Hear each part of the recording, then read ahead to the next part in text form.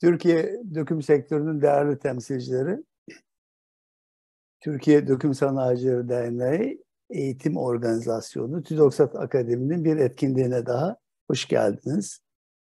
Ben Seyfi Değirmenci. Biraz sonra kendim hakkında biraz daha detaylı bilgi vereceğim. Şimdi bugün TÜDOKSAT Akademi'nin e, düzenlediği webinarla beraberiz. Biz webinar ve seminer karışımı etkinliklerimize devam ediyoruz. Son yaptığımız Mayıs ayı içerisinde iki etkinlik var. Bunlardan birisi 9 Mayıs'taydı. Elmas taşlama taşları ile ilgili konuyu bize Muzzi, İtalyan Muzzi firmasından Türkiye temsilcisi Teknometalürji onlar anlattılar. Ee, webinar şeklindeydi. Bir sonraki ise 23 Mayıs'ta bu sefer seminer. Seminerde de refrakter malzemelerini bize Haznedar Durer refrakter firması anlattı. Oldukça güzel, etkin bir e, seminer oldu.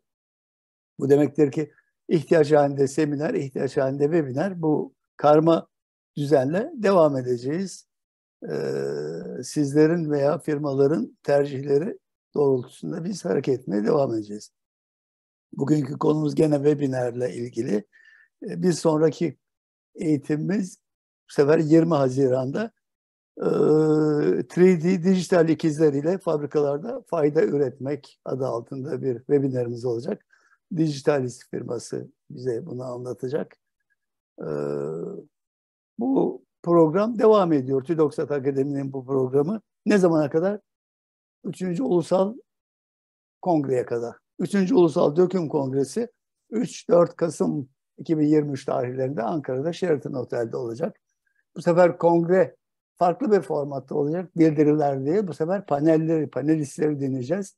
Dört ayrı başlıktaki panellerde sektörümüzün değişik konularını tartışacağız. Bunların her biri e, Green Deal'den tutun da insan kaynaklarına kadar hepimizi derinden etkileyen konular, detaylarını bilmek istiyoruz. Bu arada bunların dışında TÜDOKSAT ile birlikte Avrupa Birliği program, projesi kapsamında üretilen bir proje var. Kromofor.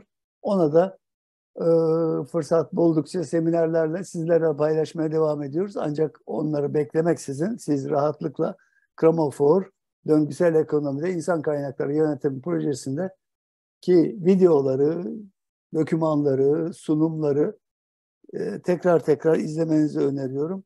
E, kesin çok yarar sağlayacaksınız.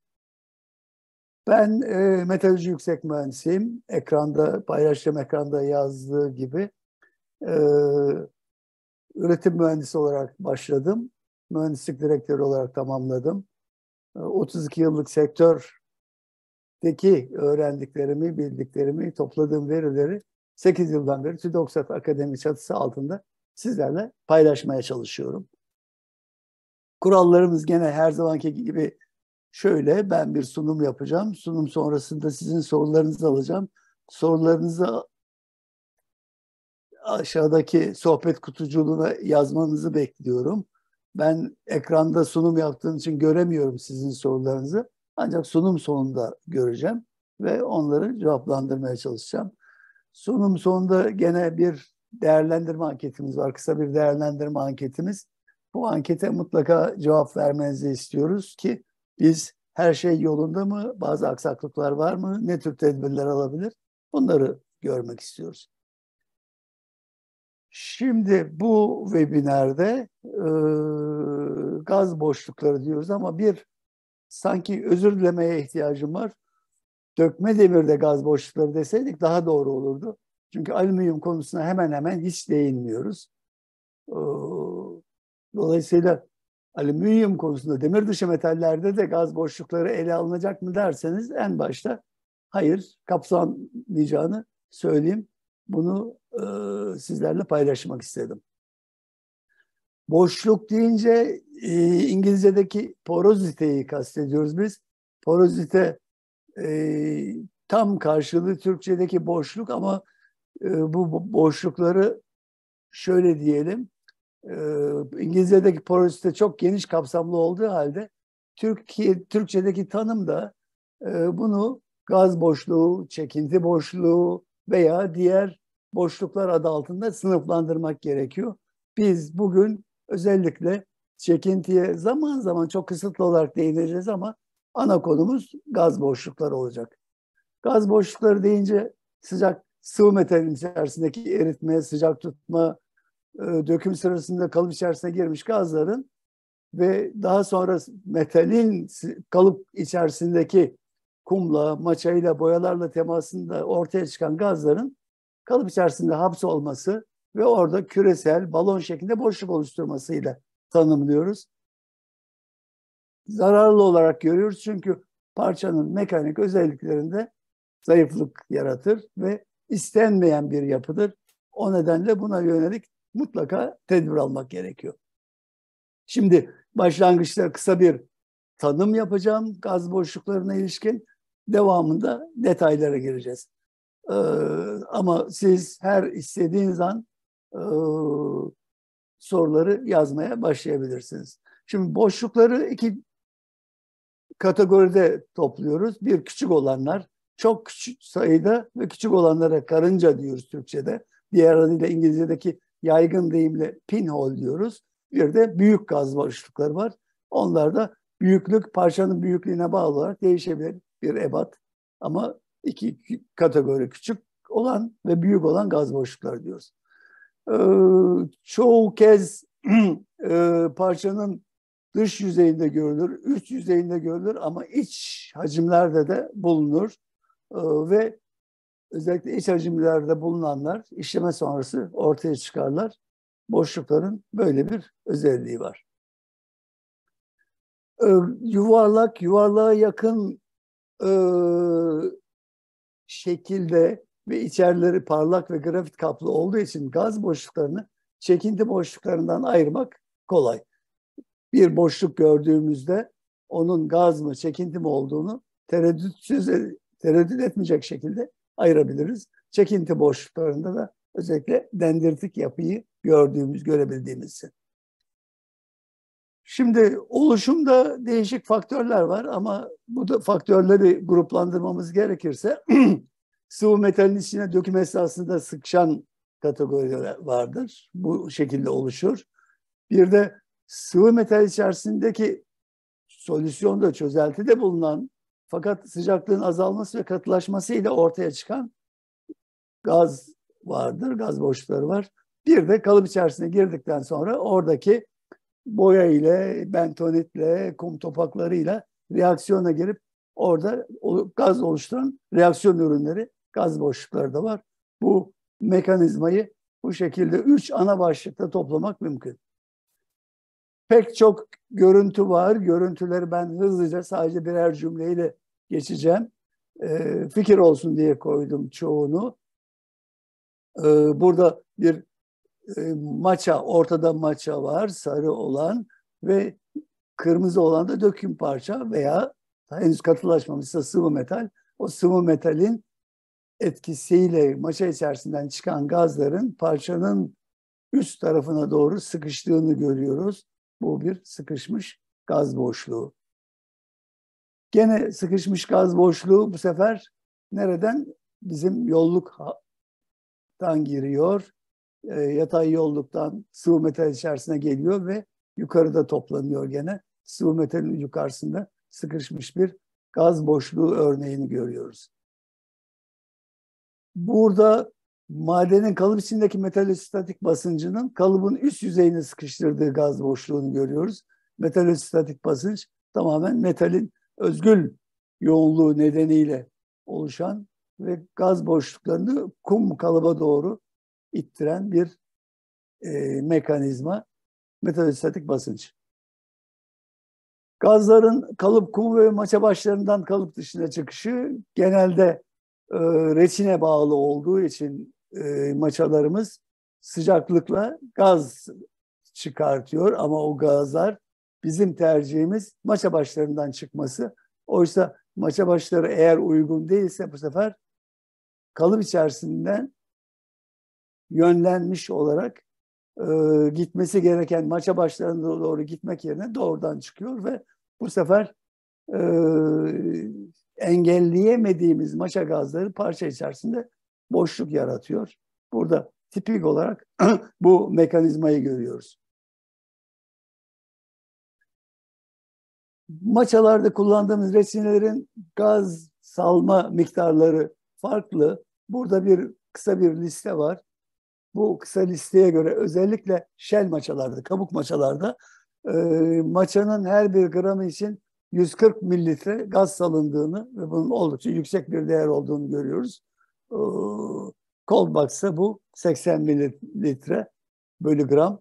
E, yaygın kullanılan Coldbox maçalardaki bu değer bize e, sanki ortalama değer gibi görünüyor. Şimdi maça boyası uygulandıktan sonra kurutulması gerekir ve kurutulmuş olsa bile gaz yayma potansiyeli nedeniyle bu gazların maça başlarından tahliye edilmesi gerekir. Eğer bu tahliye yapılamazsa bu sefer parçada gaz boşluğu oluşuyor. Gördüğümüz gibi burada yüzeye açılan veya kesildiğinde veya işlendiğinde ortaya çıkan gaz boşluğu tamamen maçadan kaynaklı gaz boşluğu. Onu da burada görüyoruz. Şimdi maçaların rutubeti de çok önemli. İmal edildikten sonra kurutulması gerekir. Ee, ama kurutmanın etkinliği uygulanan kurutma sıcaklığına ve de süreye bağlı. Burada bir deney yapılıyor. Bu deneyde maçanın içerisine boya katılıyor. Boyanın sıcaklıkla kaybolduğunu düşünürsek bizim e, 150 santigrat derecedeki kurutma etkinliğimize bir bakalım. 150 santigrat derecede 0 dakikada ilk dakikada %100 nem var. Bu nem yaklaşık 3 dakika sonra önemli oranda azalıyor. 9 dakika sonra tamamen kayboluyor ve 18 dakika sonra da bizim maçamız tamamen kurumuş oluyor. Şimdi bu bir şey değil, e, şart değil ama her işletmenin kendi maça geometrisine, maça büyüklüğüne, maça ağırlığına bağlı olarak ve de fırının etkinliğine bağlı olarak kurutma süresini ve kurutma sıcaklığını ayarlaması gerekiyor. Ama burada bilin ki maçaları kurutmaksızın kullanmak başımızda pek çok problem yaratıyor. Bunlardan en önemlisi de maça kaynaklı gaz boşlukları. Tabii maça deyince e, bunu e, maçanın dayanım değerlerinin elde edilebilmesi için karıştırılması gerekiyor reçineyle. Bu reçine karıştırmada kuma reçine katıldıktan sonraki karıştırma etkinliği değişik mekanizmalarla sağlanıyor. Bunlardan en önemlisi mikser dediğimiz karıştırma değirmenleri. Bunlar yatay olanlar var, dikey olanlar var. Burada yatayın, dikeyin yataydan daha etkin karıştırma sağlandığını söyleyen bir görüş var. Aksi sonuçlarda almış olabilirsiniz ama sanki önce yatay mikserler geliştirildi, sonra dikey mikserler geliştirildi. Etkin karıştırılmazsa maçada e, gaz boşluğu oluşumu her zaman hazır. Etkin karıştırılması. Daha doğrusu hem etkin hem homojen karıştırılması gerekiyor. Maça kumunun reçine ile birlikte. Şimdi yıkanmamış ve yıkanmış kumlara göre e, biz yıkamayla ne yapıyoruz? Kumdan, silisyum dioksit kumundan e, kili ayrıştırıyoruz. Kil deyince değişik kimyasallar var. Bunların alüminyum oksit var, demir oksit var, kalsiyum oksit var. Bunları yıkama etkinliğimize bağlı olarak e, bizim maçamızın dayanımı değişiyor.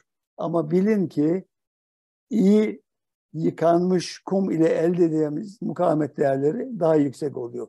Biz maçada yüksek mukavemet değeri elde istiyoruz. Ama kil oranı yüzde üçlere kadar çıktığında hayli e, karışımdan sonra, üretildikten sonra maçadaki mukavemet hayli düşüyor.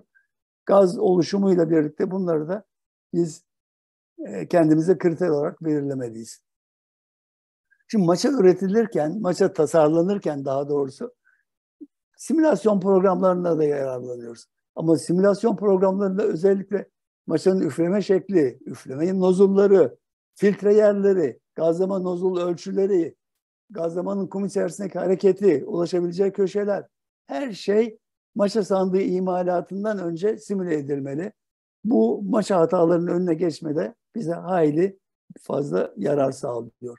Ancak bu şekilde deneme yanılmayla daha sonra yapacağımız denemeleri başlangıçta fiili sonuçları öngörebiliyoruz ki biz maça ile minimum reçine oranı ile maksimum mukavemette maça üretelim, üretebilelim. Bu simülasyon teknikleri işimizi hayli kolaylaştırıyor. Şimdi bundan sonraki anlatacaklarımda iki ana başlık olacak. Karınca boşlukları dediğim küçük gaz boşlukları, ikinci başlık büyük gaz boşlukları. Ama karınca boşluklarını üçe ayırmamız gerekiyor. Hidrojen kaynaklı karınca boşlukları, azot kaynaklı boşluklar ve karbon monoksit kaynaklı boşluklar. Bu üç nerede kırmızı bir başlık görürseniz bilin ki yeni bir bölüme geçtim ve yeni bölümde devam ediyorum demektir. Burada karınca boşluklarından başlayalım. Karınca boşluklarının ilk konusu hidrojen kaynaklı karınca boşluğu. Bunlar özellikle işleme sonrası ortaya çıkıyor. İşleme sonrası ortaya çıktığı için dökümcüye de maliyeti yüksek. Çünkü hem döküm parça boşa gidiyor hem de döküm için yapılan ayrılan zaman ve ekipman boşa gidiyor. Çoğu kez parçanın hemen yüzey altında ve bazen tüm dış yüzeyde hem iç kısımları parlak hem de ince bir grafit tabakasıyla katlı, kaplı olduğu için siyah renkli görüntüleri var. Hidrojen kaynaklı gaz boşluklarının. Ee, burada ana neden rutubet miktarı. Rutubet deyince tabii biz maçanın rutubetinden bahsettik ama e, kalıbın kumunun rutubetinde bahsetmemiz lazım. Sıvı metal taşıdığımız potanın asla rutubetinde bahsetmemiz lazım. Bu durumda alüminyum veya titanyumun yüksek olması sıvı metal içerisinde e, bu elementlerin kalıp kumuyla veya refrakterdeki rutubetle veya kalıp kumundaki iyi karışmamış ölü bentonitlerle reaksiyonu sonrası hidrojeni ortaya çıkartıyor. Bu hidrojen de kabuklaşmış metalin, döküm parçanın kabuklaşmış kısmın hemen altında yan yana pek çok küçük boşluk oluşturuyor. Esas karınca olarak tabir ettiğimiz yapı bu ve bunun ana nedeni de hidrojen. Ee, alüminyum miktarı 200 ppm'in altında tutulduğunda veya titanyum miktarı en düşük seviyeye indirildiğinde bu risk hidrojen kaynaklı pinol, karınca sakatı oluşumu azalıyor. Bir yandan da kalıbın, maçanın, refrakterlerin, şuruf çekmede kullandığımız gel berilerinde kuru olmasına özen göstermemiz gerekiyor. Hidrojen gaz boşluğu için oluşan mekanizma şu. Nem, değişik demin saydığım maşadaki, kalıptaki, refrakterlerdeki nem, su, karbonla birleşiyor. Sıvı metal içerisindeki karbonlu karbon monoksit oluşturuyor ve hidrojen ortaya çıkıyor. Karbon monoksit daha sonra karbonla gene birleşerek karbon dioksit olarak yayılıyor. Ee, karbon dioksit uçması nedeniyle yüzeylerde karbon azalıyor. Dolayısıyla hem nodül veya lamel grafitli dökme demirse lamel grafit sayısı ve grafit yüzdesi de azalıyor. Bu sınırda görüyorsunuz. Şuradaki bir gaz boşluğu, bu da metalle temas eden yüzey. Metal yüzeyindeki bu bölgede grafitten arınmış bir siferodökme demir. Siferodökme demirde burada küre olmadığını görüyoruz. Grafitler burada bir şekilde kullanılmış gördüğünüz gibi.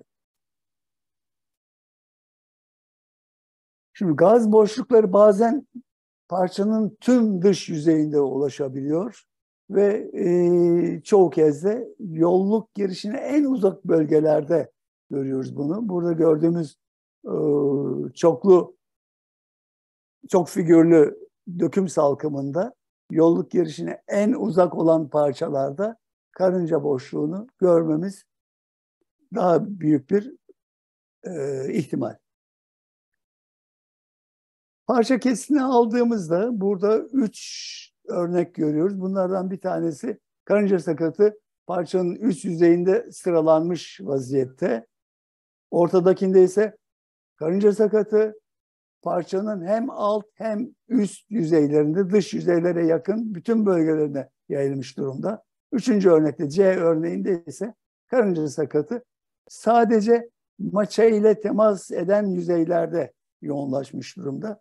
Burada potansiyel iyi kurtulmamış maça veya iyi uygulanmamış e, maça boyası dememiz gerekiyor.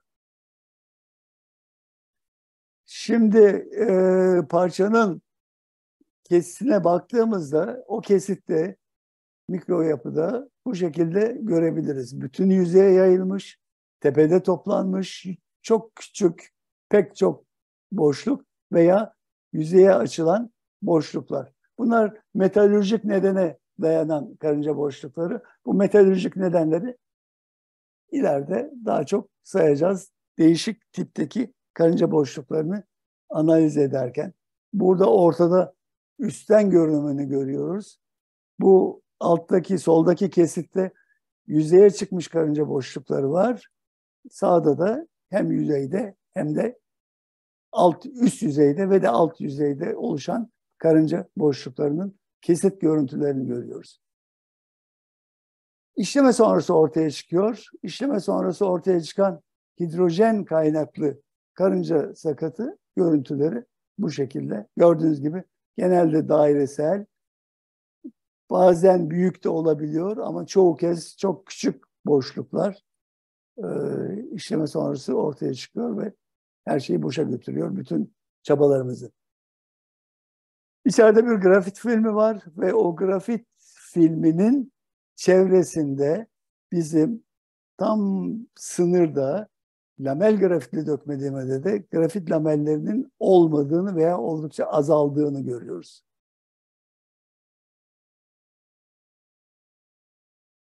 Burada e, 0.035 alüminyum içeren e, bir kimyasal analizde bu, bu oranda alüminyum içeren bir yapıda e, biz bunu aşırı olarak niteliyoruz bu değeri. İşleme sonrası böyle bir görüntü ortaya çıkıyor. Gördüğünüz gibi bütün yüzey kaplanmış durumda karınca boşluklarıyla. Reaksiyon şöyle. Reaksiyon karbonla su buharı veya nem kalıp içerisindeki nem birleşiyor. Karbon monoksit ortaya çıkartıyor. Gene aynı şekilde demir nemle birleşiyor. Demir oksit hidrojen salıyor. Aynı şekilde demir oksit karbonla birleşip karbon monoksit salıyor. Burada gördüğümüz gibi şu anda bahsettiğimiz hidrojen gaz boşluklarının e, reaksiyon ürünleri buradan geliyor. İleride bahsedeceğimiz, üçüncü bölümde bahsedeceğimiz karbon monoksit boşluklu, yani karbondioksit, karbon monoksit nedenli gaz boşlukları da bu üçüncü reaksiyon sonucu ortaya çıkabiliyor. Eğer sıvı metalde alüminyum veya magnezyum gibi güçlü deoksidanlar varsa bunların su ile temas halinde hidrojen açığa çıkıyor ve hidrojen gaz sakatı oluşuyor.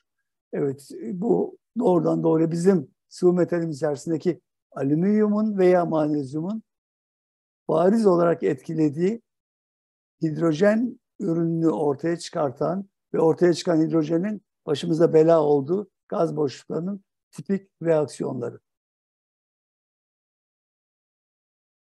Şimdi hidrojen dedik. Hidrojenin tipik hidrojen nedenli gaz boşluklarının tipik görüntüsü küresel.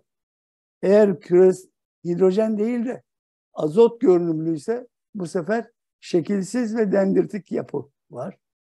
Ee, bu boşlukların işleme sonrası veya kes, kesinti kesildikten sonraki görüntülerinden yola çıkarak doğrudan teşhis koyabiliyoruz. Burada gördüğümüz azot kaynaklı boşluklar. Burada azot boş, boşluğunun tepedeki ve içerideki görüntüleri. Bu görüntülere dayanarak net olarak şunu söyleyebiliriz. Buna Almanlar koma feyler derler. Yani virgül hatası birazcık virgülü andırır. virgülün noktası şu. içerideki uzantısı kuyruğu da içeri doğru uzanıyor. Biz neyi görüyoruz? Sadece dışarıdaki görüntüleri görüyoruz. Dışarıdaki görüntülerde eğer biraz zorlarsak kendi e, imajımızı burada e, virgül görüntülerini burada görebiliriz. Koma F'lerin virgül olduğunda bu vesileyle belirtmiş olayım. Azot boşluğu burada şey değil, e, gördüğünüz gibi hidrojen boşluğu gibi dairesel değil. İçerisinde bazen dendrit uzantılarını dahi görebiliriz.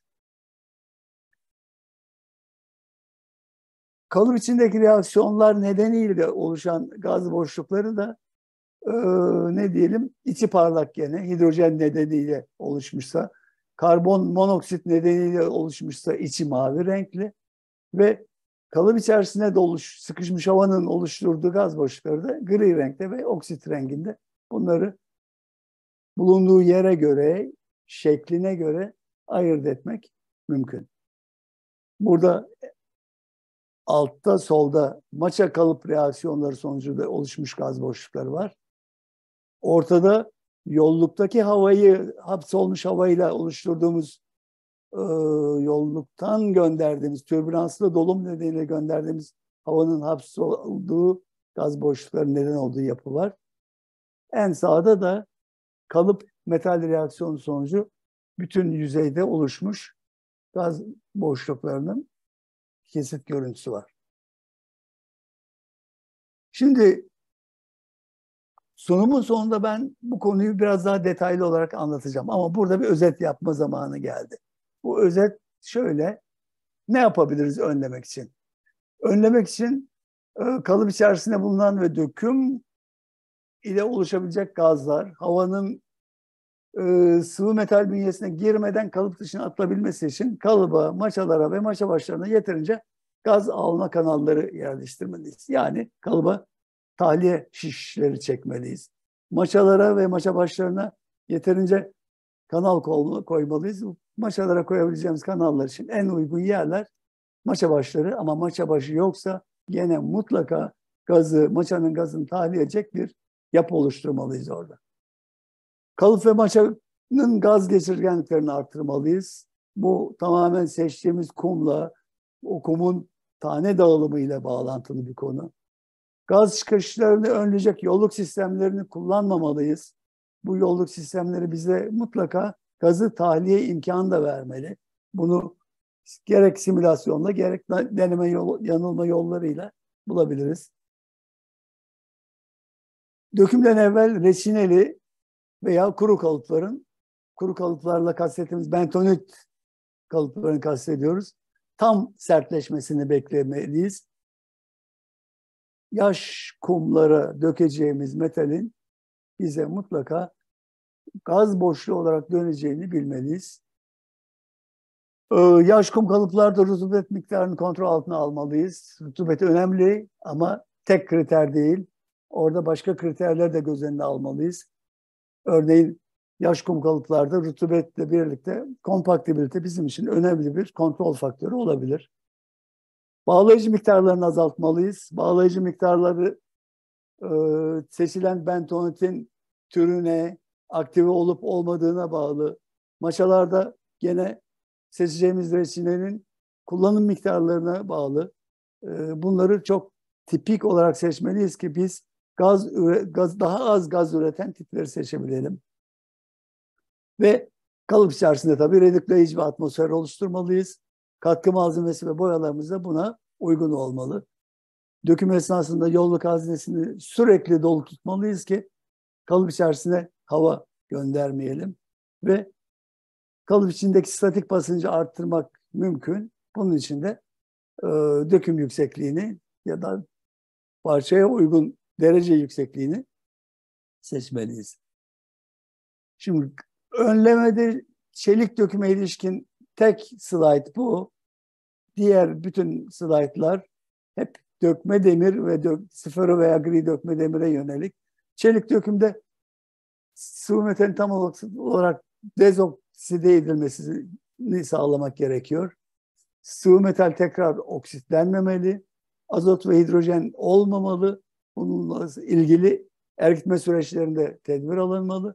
Hem döküm süresinde hem de döküm sıcaklığı yakından takip edilmeli ki çelik dökümde daha az gaz boşluğu yaşayalım.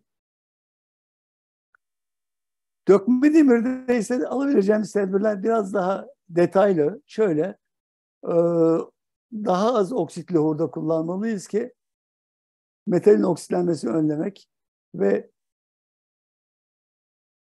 dökümden önce ferrosilis gibi bir dezoksidanla oksit seviyesini düşürmek dökme demirde alabileceğimiz önemli tedbirlerden birisi. İkincisi azot miktarı düşük tutulmalı. 70-75 ppm seviyelerinde. Alüminyum miktarı düşük tutulmalı. Bu hem sıvı metaldeki hem de katkı malzemelerindeki alüminyumdan kastediyor, bahsediyoruz. Katkı malzemelerindeki alüminyum genelde aşılayıcılardan gelen olabilir veya şarjdan olabilir. Ee, döküm sıcaklıkları düşük olmamalı. Döküm sıcaklıklarının düşüklüğü de bize dökme demirde gaz için bir önemli bir faktör. Alüminyum miktarına bağlı olarak gördüğümüz gibi başlangıçta hidrojen seviyesi çok düşükken alüminyum miktarı arttıkça hidrojen seviyesi maksimuma çıkıyor. Sonra biraz stabilleşiyor alüminyum miktarı arttıkça. Ama bilelim ki en ideal değer alüminyumun hiç olmadığı değer ki bu mümkün değil. Biz genelde hem alüminyumu, alüminyum sıvı metaldeki alüminyum oranını belirli seviyelerde tutarak e, şey e, hidrojen miktarını kontrol altına tutmaya çalışıyoruz. Döküm sıcaklığı da burada etken tabii.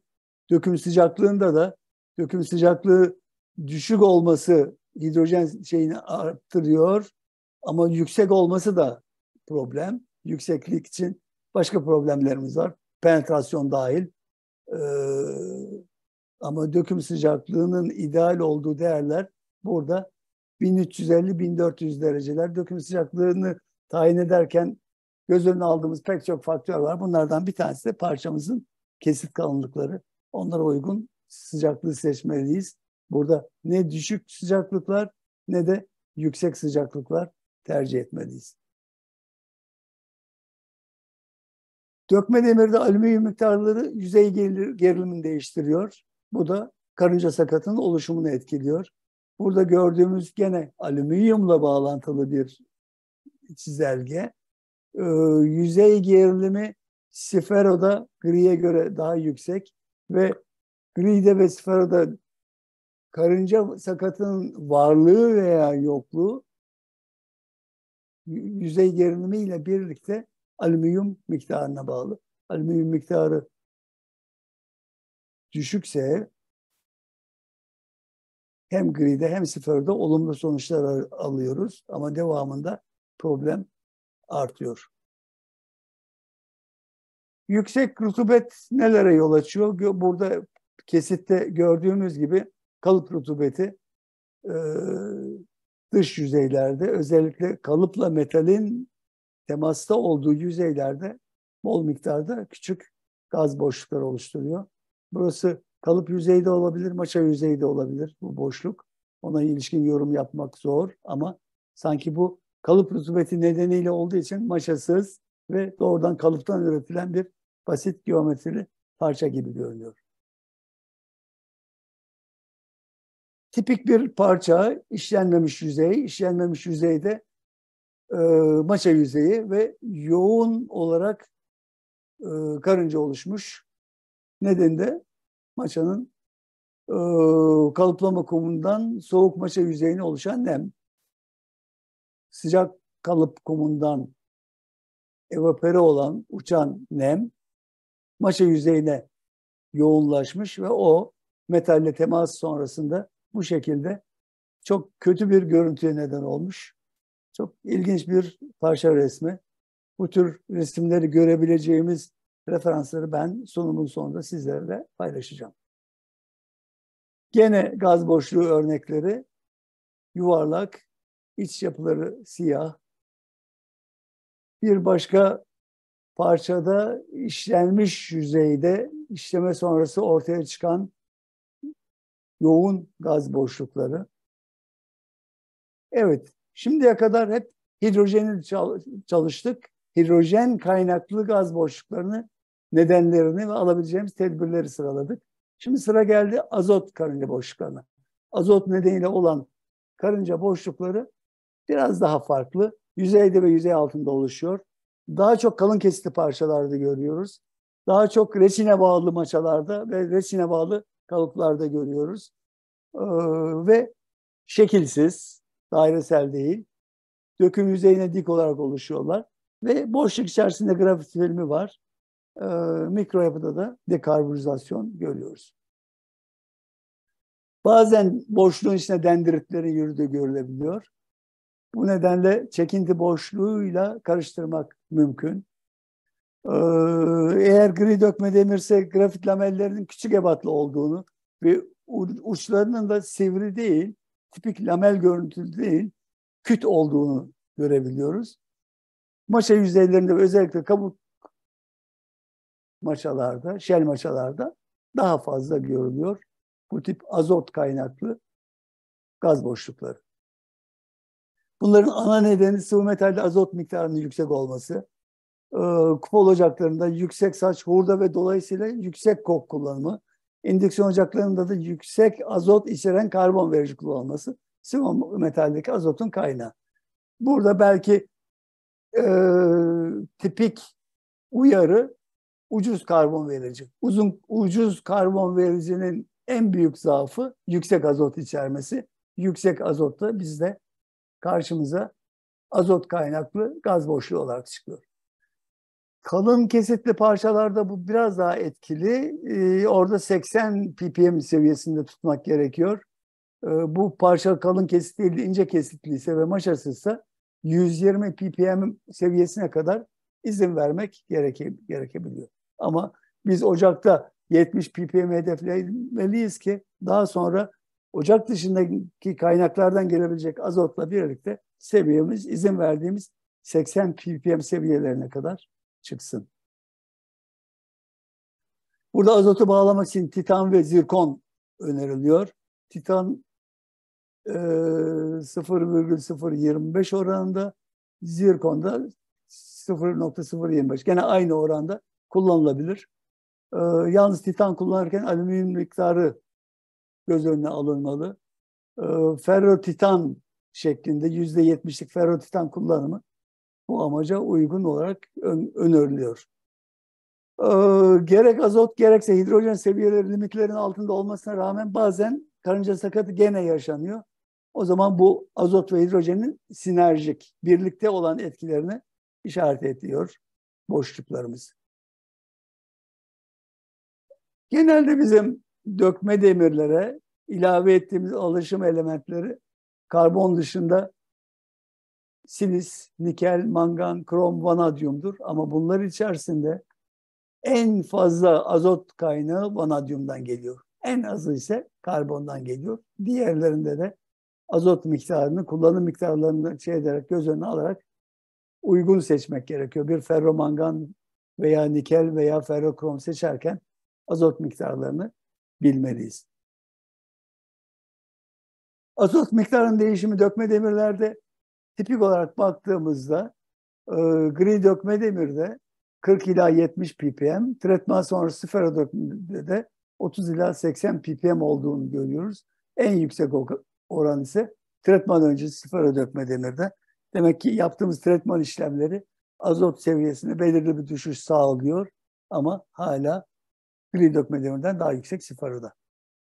Ocak tiplerine göre ise e, yaygın kullandığımız indüksiyon ocaklarındaki azot 80-130 ppm arasında değişiyor. Burada da en yüksek azot ark ocaklarında o doğrudan doğruya biraz şarjla bağlantılı diyelim. Çelik oranlarında ise e, şarjdaki çelik hurdanın oranı kupol ocağı referans alınmış burada. Yüzde 25 iken 110 ppm ama yüzde 100 iken doğrudan çelik hurdayla eritim yapıyorsak 170 ppm'lere kadar çıkıyor. Bunu dikkate almamız gerekir. Bu seviyedeki azot her zaman problem olabilir gaz boşlukları için. Karbon eşdeğeri de etkili. Karbon eşdeğeri ne kadar yüksekse azot miktarı o kadar düşüyor. Yalnız karbon eşdeğeri için bizi kısıtlayan faktör biliyorsunuz ki mukavemetler. O kadar serbest davranamıyoruz. Belirli bir noktada durmamız lazım ki arzu ettiğimiz mukavemeti seçelim.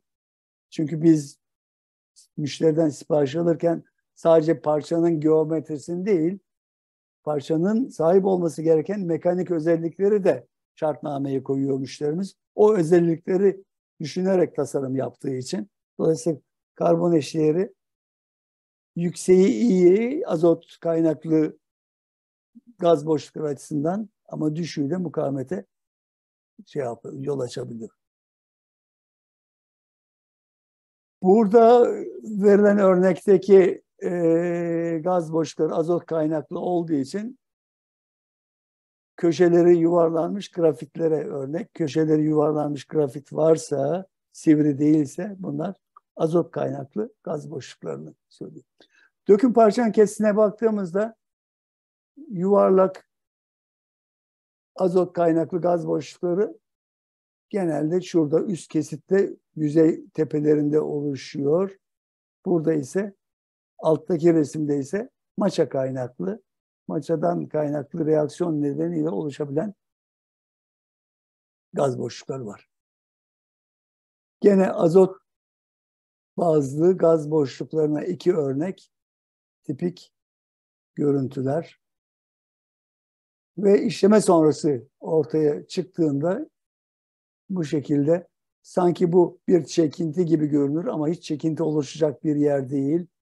Ee, bu görüntü bize tipik azot kaynaklı gaz boşluğu olduğunu söylüyor. Azot bazlı gaz boşluğu için gene tipik bir örnek fotoğraf burada hemen yüzey altında yuvarlak olmayan değişik şekillerde yoğun boşluklar. Burada gene şurada bunu çekintiyle kar karıştırmak mümkün. Bir de en sağdaki kesitte kesitin içerisinde çok değişik şekillerde dağılmış azot kaynaklı gaz boşluklarımız var. Gene e, burada gördüğümüz gibi lamellerin olmadığı dekarbürize bir yüzey görüyoruz. Dekarbürize yüzey yanında, boşluğun hemen dışındaki bölgede yanında o bölgeye yakın olan grafitlerin de aynı zamanda e, aynı zamanda küt uçları olduğunu görüyoruz. E, gaz boşluklarının e, ebatlarını ölçmek için yanına cetvel koyup fotoğrafta çekebilirsiniz. Gördüğümüz gibi çapları ortalama 1-2 milimetre işlendikten sonra ortaya çıkan boşlukların çapları. Gene farklı bir görüntü, gene işleme sonrası ortaya çıkmış boşluklar ve gene azot fazlalığı nedeniyle oluşan gaz boşlukları. Tipik geometri, tipik görüntü işleme sonrası ortaya çıktığında bunun azot kaynaklı bir gaz boşluğu olduğunu, her tarafa dağıldığını, yuvarlak olmadığını söyleyebiliriz. dekarbonizasyonla artıyor. Ferit tabakasından e, bunu anlamak mümkün gaz boşluklarının.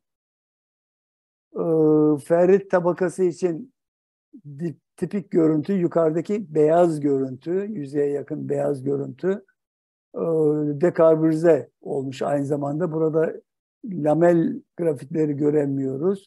Lamel grafitleri göremediğimiz gibi buradaki boşlukların hemen yanındaki grafitlerinde küt uçları olduğunu görüyoruz. Gene tipik bir gaz boşluğu azot kaynaklı. Gene metre koyarak pekala ölçüm yapmak mümkün. Değişik boşlukları. Bu bir pompa gövdesi. Gördüğünüz gibi problem çok büyük. Çok kalın kesitli bir parça. Ve kalın kesitli parçada böyle bir görüntünün tek sorumlusu yüksek azot miktarı olabilir. e, iyi seçilmiş bir örnek parça azot kaynaklı gaz boşlukları için.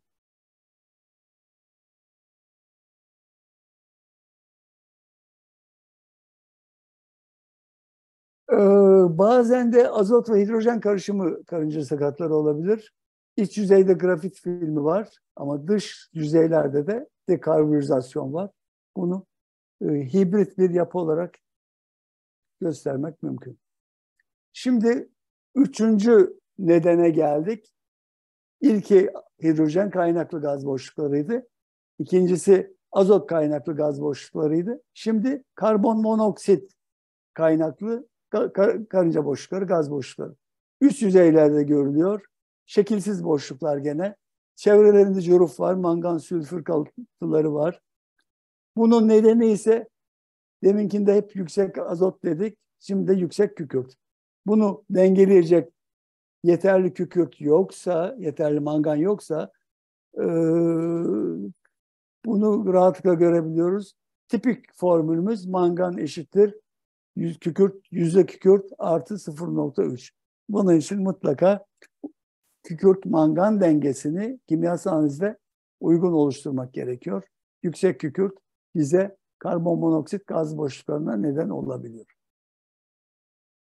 Bu reaksiyon bize e, karbon monoksitin şeyini gösterdi. E, karbon monoksitte e, silisyum dioksitin karbonla birleşmesi sonrası silisyum dioksit bizim hem kumumuz hem de e, kalıp içerisindeki, şey, metal içerisindeki corufumuz ikisinin bileşimi sonrası, silisyum sonrası veya silisyum ortaya çıkıyor ve karbon monoksit, yayılan karbon monoksit bize gaz boşluklarına şey olabilir. Silisyum dioksit, mangan oksit, demir oksit bizim tipik enkülüzyonlarımız sıvı metal içerisindeki. Biz bunu curuf olarak ayıramazsak, curuf olarak toplamayı beceremezsek daha sonra karbondioksit gaz boşlukları için önemli bir kaynak oluşur bu tür enkülüzyonlar. Mangan sülfit reaksiyonun sonucu oluşan curuflar burada e, bu tip karınca boşluklarına karbondioksit, karbon monoksit bazlı boşluklara neden oluyor. Bir en soldaki tipik geometride parçanın üst yüzeyinde toplandığını görüyoruz. Mikro yapı içerisinde bunu ve ayırt etmek için defalarca yapıya değişik yerlerden bakmak gerekiyor ki evet bu bir karbon monoksit nedeniyle oluşmuş mangan sülfit curufu boşluğu diyelim. Ee, onu söylemek mümkün mikro yapıya hakim olduğumuzda. Rastgele yerlerde çıkabiliyor. Parçanın her yerinde rastlayabiliriz. Özellikle analiz kaynaklı olduğu için, karbon monoksit kaynaklı olduğu için ve e, gördüğümüz gibi böyle bir yapı, mikro yapıda bize lamellerin yanında karbon monoksit kaynaklı büyük bir gaz boşluğu olduğunu söyleyebiliyor. Bu da iyi bir fotoğraf karbon monoksit kaynaklı gaz boşluklarını tanımamız için. Aynı zamanda curuf da birikiyor iç yapıda. Ee, parlak bir yüzey yok. Curufla karışmış halde. Evet, bunun şimdi ne yaptık? Hidrojen kaynaklı, azot kaynaklı ve karbon monoksit kaynaklı küçük gaz boşluklarını inceledik şimdiye kadar. Sıra geldi büyük gaz boşluklarına. Büyük gaz boşluklarında nedenlerimiz şöyle. Kalıp içerisinde sıkışan hava, maden doldururken girdap halindeki içerge kaçan hava, kalıp maşasının, kumunun, boyaların sıvı metalle teması ortaya çıkardığı gazlar, dolum sonrası oluşan reaksiyon gazları, sıvı metalle katılaşma ile ortaya çıkan gazlar, bunlar kalıp içerisinde kaldıkları zaman tahliye etmeyi başaramazsak bize gaz boşluğu olarak çıkıyor karşımıza. Bunlara da büyük gaz boşlukları diyoruz.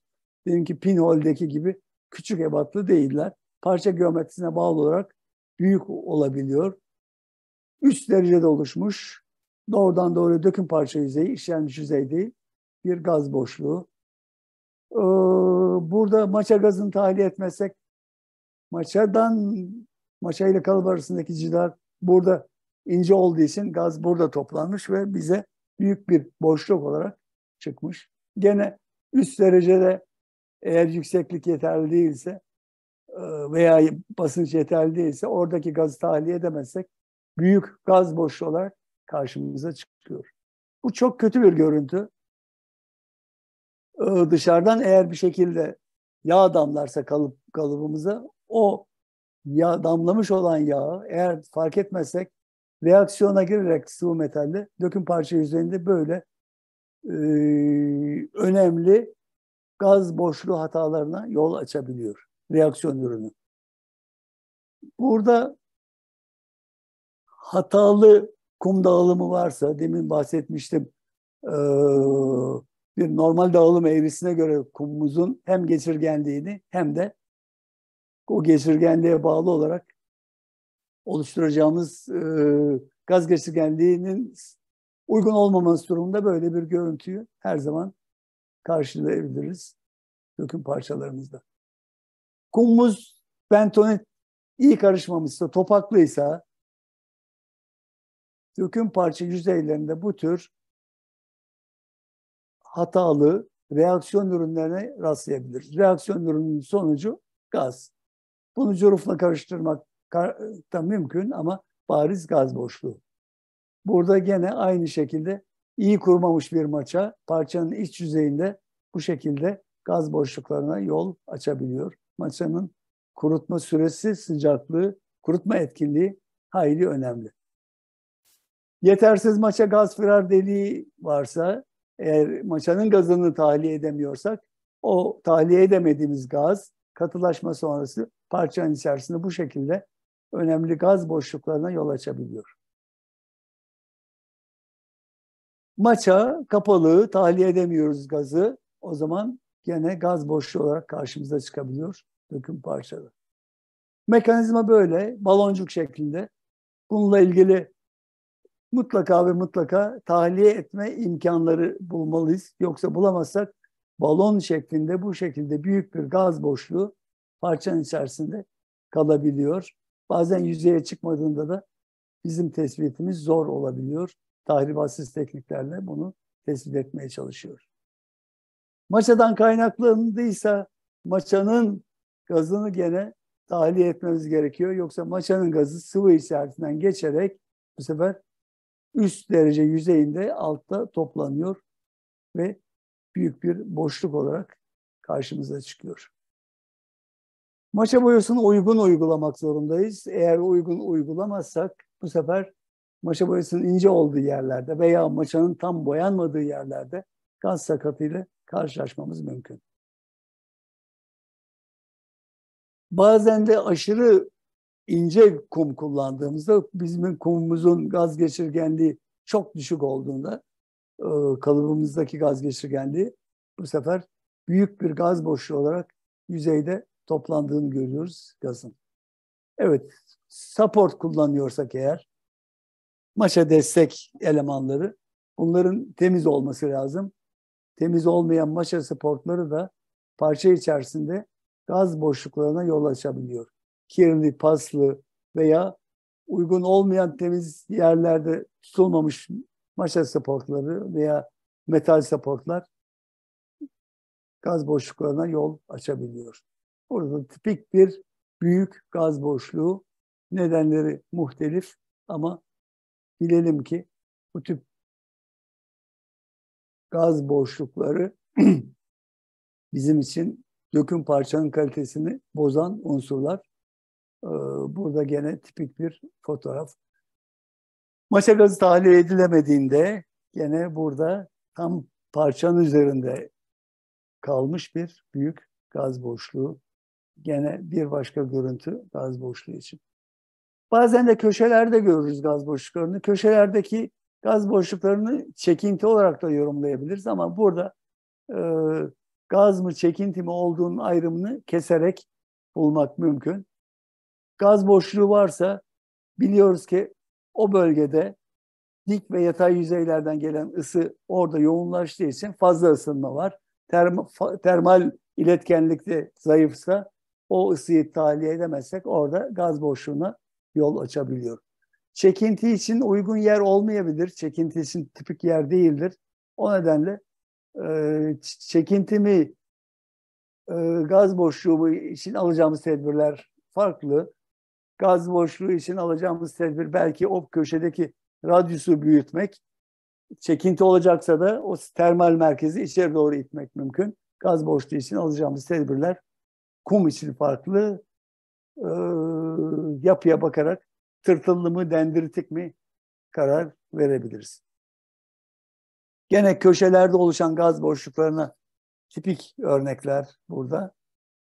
Bu örneklerin hepsi e, keskin köşeler diyelim. Keskin köşelerde oluşan gaz boşluklarının tipik örnek. Keskin bir köşe var. Hemen arkasında da termal merkez nedeniyle oluşmuş üç tane gaz boşluğu var. Burada gene köşelerde oluşmuş gaz boşluklarına tipik örnekler. Burada köşelerdeki değil, tipik bir örnek.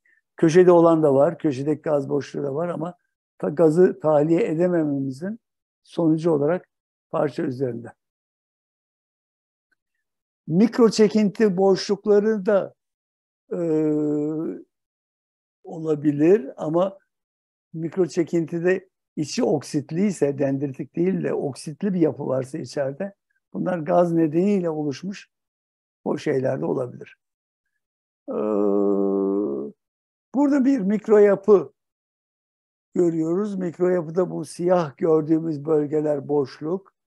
Bu boşluklar bizim çekintimizi teşvik etmiş olabilir. Çok şey olan, e, kenarı yuvarlak olanlar çekinti boşlukları ama kenar yuvarlak olmayan şekilsiz görüntüler diğer gaz boşlukları. Çekinti boşluğu için tipik görüntü burada. Dendritik bir yapı var. Dendritler var. Dendritleri görüyoruz. Ama dendritler yoksa bunu gaz boşluğu olarak da şu şekilde tarif etmemiz mümkün. Çekinti ise net olarak parlatılsın parlatılmasın böyle bir görüntüde bize çekinti olduğunu söylüyor. Manezyumda da e, manezyum nedenli olarak sferde gaz boşluğu olabilir. E, yalnız burada grafit içerisinde şey yok. E, yapıda lamel görünüyor.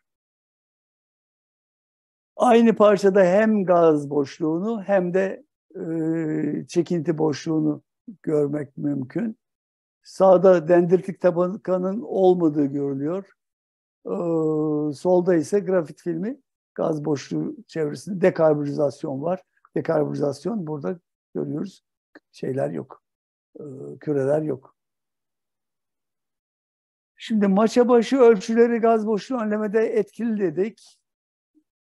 Evet, büyük tutacağız ama büyük tutamıyorsak mutlaka delerek tedbir alacağız. 18 milimetrelik maça başı çapıyla 32 milimetrelik maça başı çapı aynı etkinlikte değil. 32 milimde gaz boşluğu yok 18'de varken. Ama 18 milimse ve biz maça başını içeri doğru matkapla delerek bir gaz tahliye kanalı açmışsak onda da gaz boşluğunu göremeyebiliriz. Döküm süresi, döküm süresi 8 saniye ile 45 saniye arasında bir karşılaştırma yaparsak 8 saniye çok hızlı doldurduk. Yoğun gaz boşluğu var. 45 saniyede gaz boşluğu yok. Ama bu 1480 derecede ve 18 milimetre maça başı e, çapına sahip bir parça için uygun. Yalnız tartışmalı olan 45 saniye çok uzun bir süre. Metalimiz soğuyacak. Başka faktörler çıkacak devreye. Demek ki optimum değer için çok farklı kriterleri birlikte ele almak gerekiyor. Maça bağlayıcısı açısından baktığımızda bir cold box reçine için part 1 part 2 0.75-0.75 oranlarında aldığımızda az gaz boşluğu görüyoruz. Ama yüzde bir buçuk, bir buçuk tamam ilkin iki katı oranlarda kullandığımızda yoğun gaz boşluğu görüyoruz. Hatta yoğun gaz boşluğunu yüzde birlerde de görüyoruz. O zaman burada bunu bu oranları minimuma çekmek için ne yapmamız gerektiğini bulmamız lazım. Gene 1480 derecede 14 saniye süren bir döküm operasyonu sonrası maça bağlayıcı miktarının gaz sakatına etkisi incelenmiş.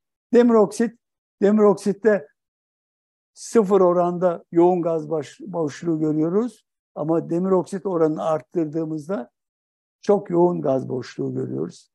Yoğunluktan yüksek yoğunluğa giriyor. Dolayısıyla bu demir oksit oranını da uygun seviyede tutmamız gerekiyor. Aşırısından kaçırmamız gerekiyor. Şimdi karbon vericilerdeki azot miktarının gaz sakatına etkisine bakarsak karbon vericilerde e,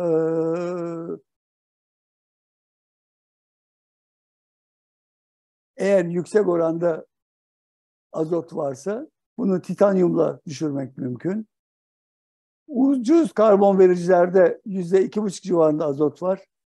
Bu e, yüksek bir oran. Ancak bu tip yüksek azotlu karbon vericileri kupol ocaklarında kullanabiliriz. Daha pahalı olan ama azot miktarı binde bir seviyelerinde olan bunları da endüksiyon ocaklarında kullanabiliriz ki riskimiz azalsın. Şarjdaki hurda oranı önemli. Yüzde otuz saç kullanmamız durumunda karbonu yükseltmek için yüzde iki buçuk nitrojen içeren karbon verici ve sıvı metalde 250 ppm azot çok çok yüksek. Bunun yerine daha düşük azot, binde bir azot içeren karbon verici kullandığımızda bu değeri 250 ppm'i 10 ppm'ler seviyesine indirebiliriz. Burada miktarı arttıkça bizim e, sakat oranımız da yükseliyor. Çünkü hurdadaki saç bize davetiye çıkartıyor azot için. Döndü oranlarına bağlı olarak biz yüzde 40 saç, yüzde 40 geri döndü kullandığımızda bu üç değere yani başımıza bela olan, bizim gaz boşluğumuza neden olan azot, oksijen ve hidrojen miktarlarına baktığımızda şöyle bir şey çıkıyor karşımıza. Elektrot grafiti yüzde 75 ferrosilis kullanıyoruz. Elektrot grafiti yüzde e, belirli bir oranda silisyum karbür kullanıyoruz veya yağlı grafit ve normal ferrosilis kullanıyoruz. Baktığımızda en yüksek toplam gaz miktarı şu yağlı grafit ve ferrosiliste. Diğer ikisinde daha makul seviyelerde e, gaz miktarımız var. Hidrojenin en düşük olduğu seviye elektrot grafiti, yüksek kaliteli grafit diyelim ve silisyum karbürü kullandığımız. Gene azot miktarının düşük olduğu gene bu seviye, ikinci seviye. Evet, maça kaynaklı gaz boşluklarını görmüştük. Demir oksitten de bahsettik. Resine bağlayıcılarından da bahsettik. Ee, sürelerden de bahsettik. Diğer etkiler var. Diğer etkilerden çok ben şuraya odaklanmak istiyorum. Bir slide atlayarak. Tedbirler. Tedbirlerimiz ne olmalı? Tedbirlerimizi 5 slaytta özetleyerek ben sunumu tamamlamak istiyorum. Bunlardan birisi yanma kaybı ve benzeri gaz çıkaran katkıları azaltmamız lazım. Yani yanma kaybını, kalıplama kumumuzdaki yanma kaybını yüzde beş, yedi arasında tutabilmemiz lazım ve daha az gaz çıkartanları tercih etmemiz lazım. Kalıp kumunun rutubetini düşük tutmamız lazım. Yüzde 2 ile 3.8 arası gelmiş ama rutubet yanında kompaktibiliteyi de göz önünde almamız lazım. Yüzde 40, 42 kompaktibilite. Burada mukavemetlerde yaş basma, ıslak çekme e, mukavemetlerinde göz önüne almamız gerekir. Üç, gaz geçirgenliğini arttırmalıyız. 100-120 arası bu e, orifis değerine göre değişen bir değer. Laboratuvardaki gaz gaz ölçüm cihazınızın orifisine göre minimum seviyede olacak bir gaz geçirgenliği değerini maksimum gaz geçirgenliği minimum orifis değeriyle tutmamız lazım.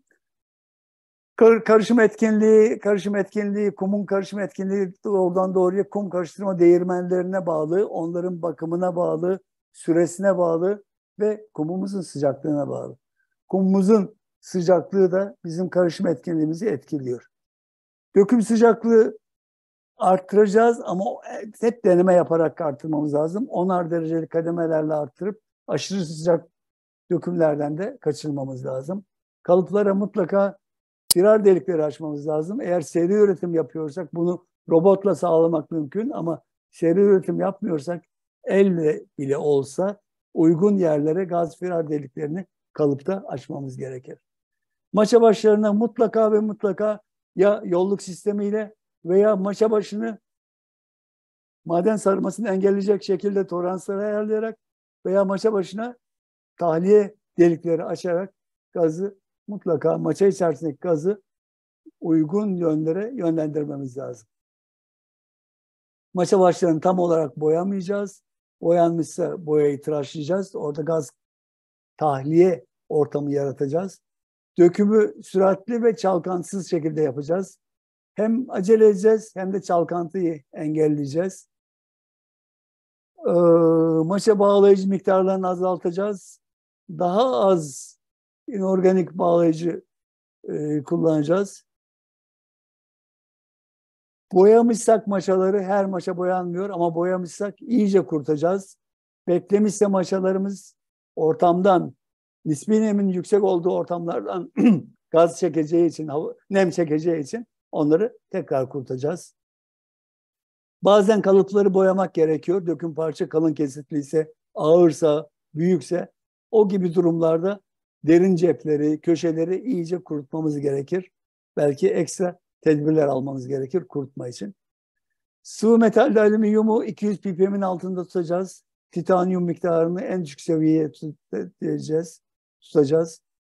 Boyalı çelik hurda kullanmayacağız. Boyalarla gelen değişik elementler var. O elementlerden, o zararlı elemanlardan kurtulmamız gerekiyor. Refraktörleri her seviyede hem ocakta hem potada mutlaka kurutmamız gerekiyor.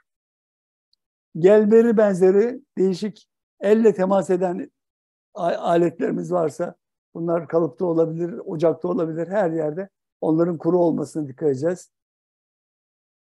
Karbon eşdeğerini ayarlayacağız ama mekanik özelliklerin izin verdiği ölçüde yükselteceğiz. Aşırı yüksekten kaçınacağız. Mekanik özellikler zayıflamayacak. Kalıp kumunun sıcaklığının 40 dereceden düşük olacak. Kalıp kumunun sıcaklığıyla kastettiğimiz burada değirmenden dönen e, hatlardan silolara dönen değil, doğrudan doğruya kalıp içerisine gönderdiğimiz hazır kullanıma hazır kalıplama kumunu kastediyoruz. Bu 40 derecenin daha da altında olmalı. Ee, sıvı metaldeki karbon verici azot miktarını 100 ppm altında tutacağız ve sıvı metalde kabul edilecek azot seviyesini 80 ppm'in kalın kesitlerde 120 ppm e, ince ve başarısız parçalarda maksimum olacak şekilde sağlayacağız. Yeni kum katkısını arttıracağız. Yeni kum katkısında da aşırılıktan kaçınacağız. Hem çevre açısından hem de e, dart benzeri genleşme hatalarından kurtulmak için ayrıca maliyet unsuru biliyorsunuz. Bağlayıcı reçine miktarını azaltacağız. Hem maliyeti düşürmek hem de gaz kaynaklarımızı azaltmak için ama orada mukavemetten de, maşa mukavemetinden de, kalıp mukavemetinden de taviz vermememiz gerekiyor. Kritikleyici özelliği olan boyalar kullanacağız. Şarjda bir miktar paslı hurda kullanabiliriz. Maşa sport ve soğutucularını iyice kurutacağız. Paslı olanları kullanmayacağız. Eldiven kullanacağız gerekirse onları kalıba yerleştirirken. Ee, maşa başlarında gaz firar delikleri açıyorsak onların hem sayısının hem de ebatlarının yeterli olmasına dikkat edeceğiz. Metali statik basıncı uygun sağlayabilmek için derece yüksekliklerini uygun seçeceğiz. Kum ve bentonite yabancı malzemelerin olmamasına dikkat edeceğiz. Bentoniti seçerken ne kadar özenli davranıyorsak kumu seçerken de aynı şekilde iyi yıkanmış olmasına dikkat edeceğiz. Maça tamir macunu kullanıyorsak bunların tam olarak kurutulduğundan emin olacağız. Açıkta olan kalıplar kapanana kadar içerisinde yağ, yağmur, sigara külü veya yabancı madde ne varsa onların düşmemesinin, damlamamasını sağlayacağız. Ve son söz. Tesisi doğru kurduğumuz zaman, süreçleri yakından takip ettiğimiz zaman, kullanılan girdi, katkı malzemeleri ve yardımcı malzemeleri süreç ve teknolojiye uygun alıp kullandığımız zaman elemanlarımızı sürekli eğitip onların yaptıkları işin neden yaptıklarını öğrettiğimiz zaman sektördeki ve dünyadaki gelişme ve teknolojiyi takip edip uygunlarını işlerimizde uyguladığımız zaman her adımda ekonominin ve para kazanmanın, çevreyi korumanın, çalışan memnuniyetinin önemini anladığımız zaman sakat, fire, adında ne derseniz deyin, hurda, dökümcünün kaderi olmayacaktır. Ben bu sunumu hazırlarken daha önce bu konuda sunum yapan Sayın Yaylalı Güney'in notlarından yararlandım. Şu anda ekranda paylaştığım döküm hataları atlasından yararlandım. Biz bu döküm hataları atlası yayınlandığında, İngilizce olarak yayınlandığında TÜDOKSAT yayını olarak Türkçe yayınlanması için çok çaba harcamıştık. Gerçekleşti. Yararlanabileceğiniz önemli bir kaynak. Ama bir ilave kaynak daha var. Foundry Lexicon diye bir site var. Oraya girdiğinizde İngilizce veya Almanca size döküm terminolojisi, süreçleri bunlar hakkında kısa, temel, detaya girmeyen bilgiler veriyor. Bu kaynaktan da yararlanmanız mümkün. Beni dinlediğiniz için teşekkür ederim. Şimdi ben sorularınızı cevaplandırabilirim.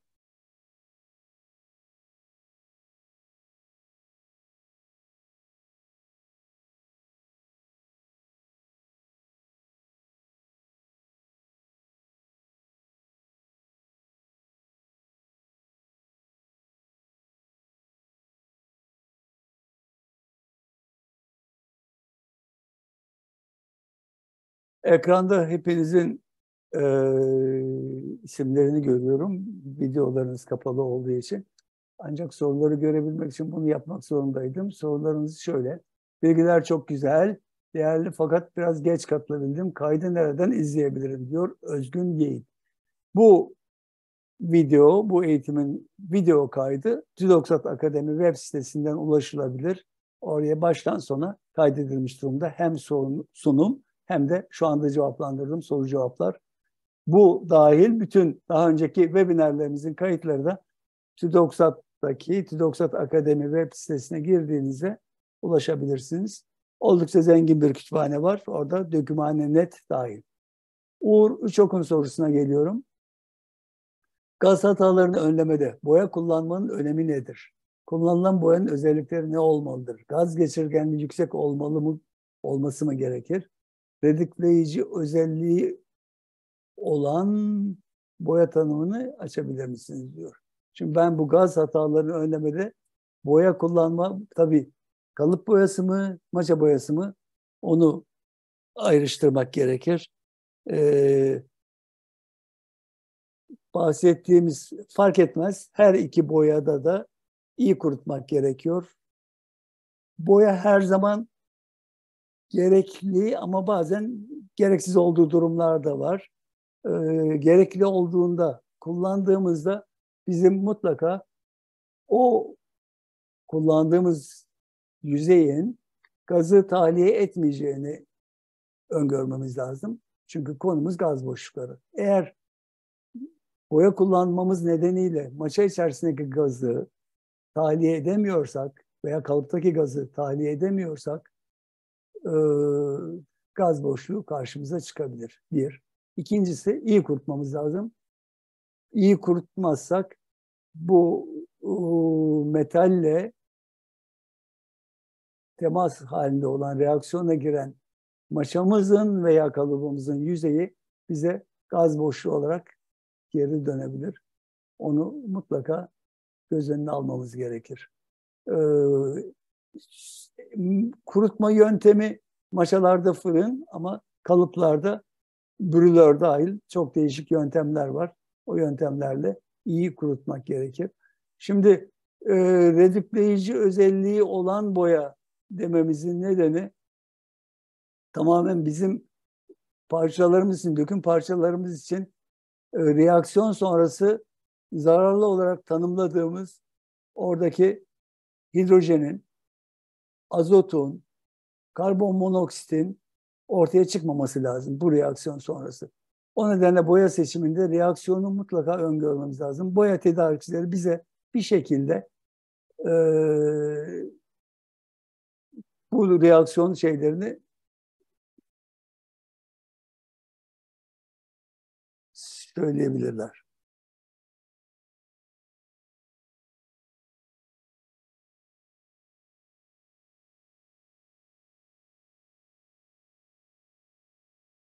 Yüzde bir mangan, mangan 1.7 çarpı yüzde silis artı 0.3 olarak düzeltebilir miyiz? Ee, Süleyman Bey'e ben çok teşekkür ederim. Formülasyondaki bu yanlışlık benim dikkatimi çekmedi. Şüphelendim de ama doğrulama için zamanım olmadı. Doğru formül haklısınız. Yüzde mangan eşittir. 1.7 kükürt artı yüzde 0.3. Bu şekilde düzelteceğim. Düzelteceğimden emin olun. Düzeltilmiş haliyle sizden e, sizinle paylaşacağız. Hatta son çalışmalar 0.2 diyor. Artık e, ilave edilecek oran 0.2 mi 0.3 mü mutlaka her şey yeni çalışmaların vereceği sonuçlara bağlı. Ama bizim kitaplarımızda, ders kitaplarımızda bu formül sizin söylediğiniz, ilk anda söylediğiniz gibi 0.3 eklenerek yapılıyordu. Başka soru var mı?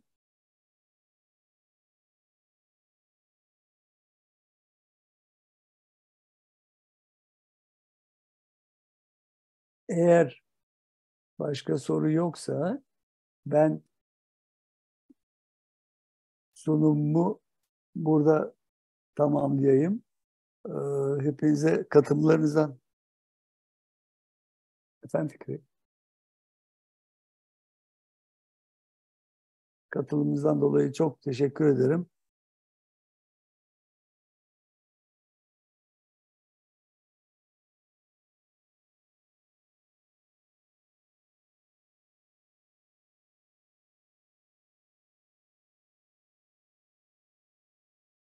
Ben teşekkür ederim. Sağlıkla kalın. İyi günler dilerim. Efendim Fikri bir problem mi var?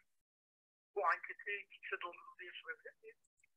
Ee, ha, ekrana düşmemiş olabilir. Benim ekranıma düştü ama ayrılmazdan önce arkadaşlar e, ekrana düşmüş olan anketi cevaplandırabilirler mi? Ben başlangıçta sunumun başında söylemiştim anketi cevaplandırmanızı. E, anketi cevaplandırarak ayrılırsanız seviniriz. Biz ankete anketteki görüşlerinize çok önem veriyoruz. Teşekkür ederim. Anket düştü cevaplandırdım diyenler de var. Ee, fikri.